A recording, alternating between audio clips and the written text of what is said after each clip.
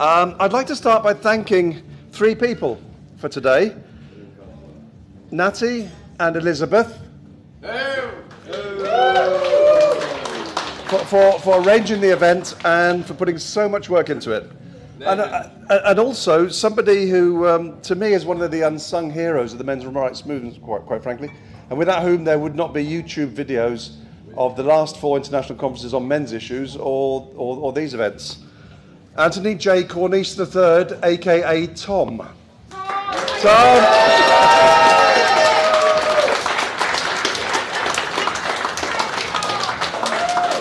And at, at, the, at the Chicago conference, I had the huge pleasure in awarding him the Quentin Tarantino um, Award for Directing Excellence. And, he, and there were only very few, few of us who knew about it. And he didn't. His face was a picture, I've got to say.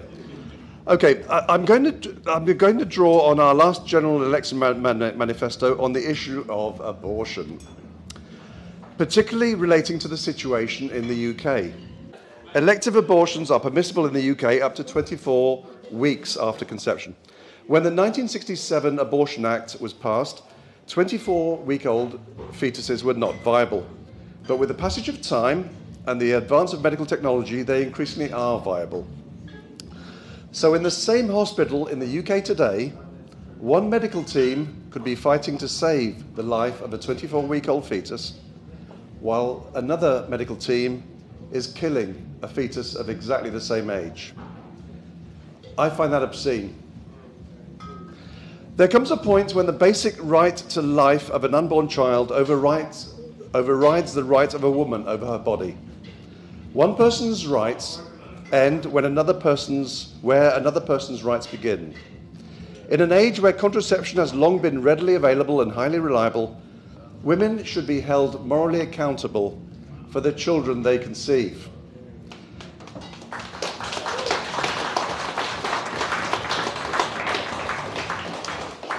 We believe there's a point in pregnancy when society and the law needs to recognise the right of the unborn child to life.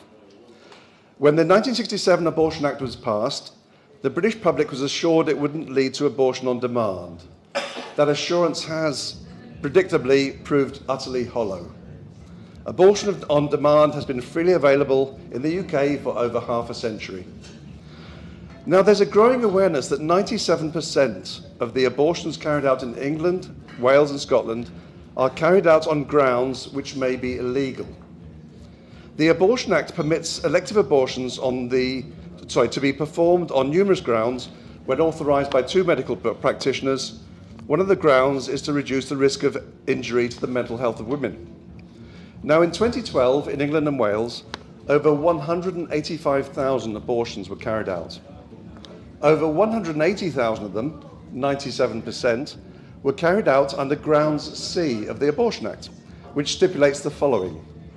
The pregnancy has not exceeded its 24th week, and the continuance of the pregnancy would involve risk, greater than if the pregnancy were terminated, of injury to the physical or mental health of the pregnant woman. Of those 180,000 abortions, 99.94% were carried out on the grounds of reducing the risk of injury to the woman's mental health. Only 109 abortions, 109.06% of the total, were carried out on the grounds of reducing the risk of injury to the woman's physical health. But here's the thing there is absolutely no evidence to support the thesis that abortion reduces the risk uh, to mental health of women with an unwanted pregnancy. None.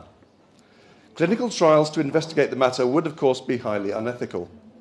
There is, however, some evidence to suggest that abortion itself increases the risk to mental health, so medical practitioners who authorise abortions on mental health risk grounds are doing so in the knowledge that there is no body of research to support th those, those authorisations. In December 2011, the National Collaborating Centre for Mental Health produced a 252 page report for the, for the Academy of Medical Royal Colleges titled Induced Abortion and Mental Health, a systematic review of the mental health outcomes of induced abortion, including their prevalence and associated factors.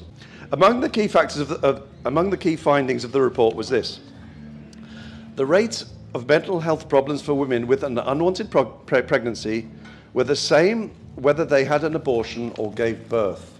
In April 2013, the Australian and New Zealand Journal of Psychiatry published a report titled Does Abortion Reduce the Mental Health Risks of Unwanted or Unplanned Pregnancy? A reappraisal of the evidence.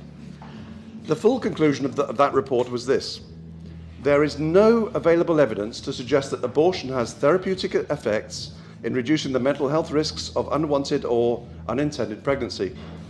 There is suggestive evidence that abortion may be associated with small to moderate risks, sorry, increases in risks, risks to anxiety, alcohol misuse, illicit drug use, and suicidal behavior.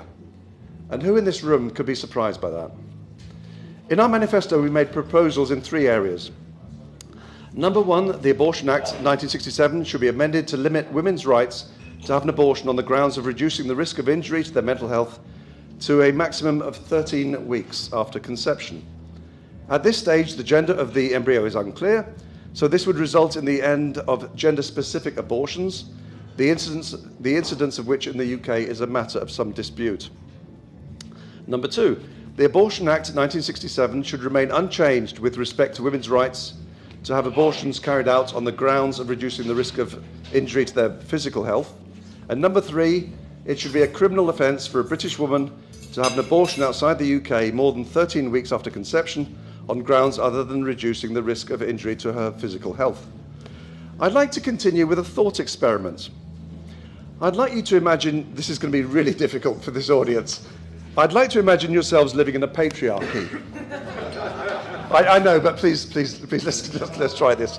Um, and more specifically, a patriarchy as envisaged by feminists, one in which men as a class oppress, oppress women and girls as a class for the benefit of men and boys, and as they have for millennia. Say, please, please stick with me with this. In this patriarchy, of course, women wouldn't have the vote. Right. Um, who said that? Let's further imagine that in 1967 an act was passed not the Abortion Act, but an act that gave fathers of babies up to 24 weeks of age the right to have their babies killed by doctors at taxpayers' expense without fear of punishment. Mothers would have no legal right to stop the killing of their babies. In the 52 years since the Act was passed, over 10 million babies have been killed at the, at the behest of their fathers. And every year, another 180,000 or 200,000 plus are killed. Fathers justify their right to have their babies killed with the slogan, My baby, my choice. Now, if we, do a, if we do a parent gender switch, rather than babies under 24 weeks of age being killed at the behest of their fathers, we have fetuses under 24 weeks of age being killed at the behest of their mothers. The reality of abortion in the UK since 1967. Now, of course, there are, there are differences between a 24 week old baby and a 24 week old fetus, but neither are viable without external support and protection. In the case of the fetus, that of its mother. Both killings seem to me to be morally equivalent. Now, I've been an atheist for about 45 years since I was a teenager, difficult to believe. Um, but it's all too evident to me that with the, with the decline of religion in the UK, and the decline of Christianity in particular, the nation's moral compass has been well and truly shattered. Nobody in their right mind would advocate for the right of fathers to have their babies killed. Yet society turns a blind eye to the killing of unborn children under the name of women's rights. I look forward to a future of MRAs increasingly working with religious people on matters of common interest, including abortion.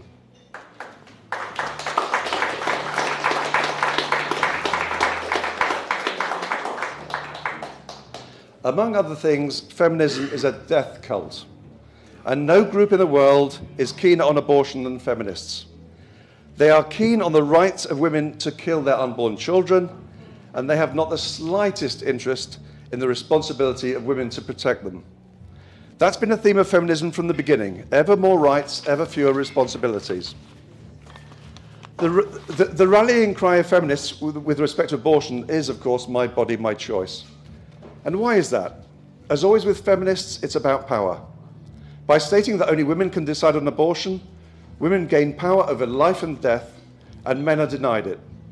We would be appalled by a man who raped a woman, or a man for that matter, who said in his defense, My body, my choice.